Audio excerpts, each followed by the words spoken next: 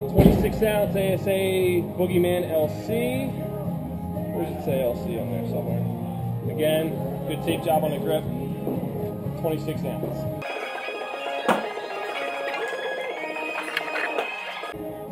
What's up, everybody? It's Ross from Swing Boss, and I have with me today a Monsta Boogeyman LC. This is a 26 ounce bat. We were hitting uh, Evil 52 300 balls. Uh, for those of you who don't know, that LC stands for low compression.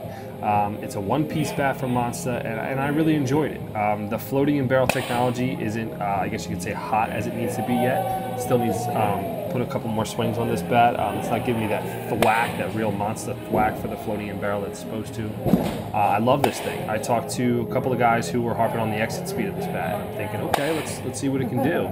Um, and I definitely gave it, you know, 90 to 100% on these swings. Um, I'd like to get outside and kind of let it all hang out and really put some big swings on it, but the exit speed is right there. They're totally correct. Um, it gets my stamp of approval. I'm really excited what Monsta's putting out this year. I used to swing the old white Monster, wasn't really a fan of it. But uh, the LC, the normal Boogeyman, and the DNAs are, are off the chain. So get out, swing it, let me know what you think. Again, this gets a stamp of approval. Thanks.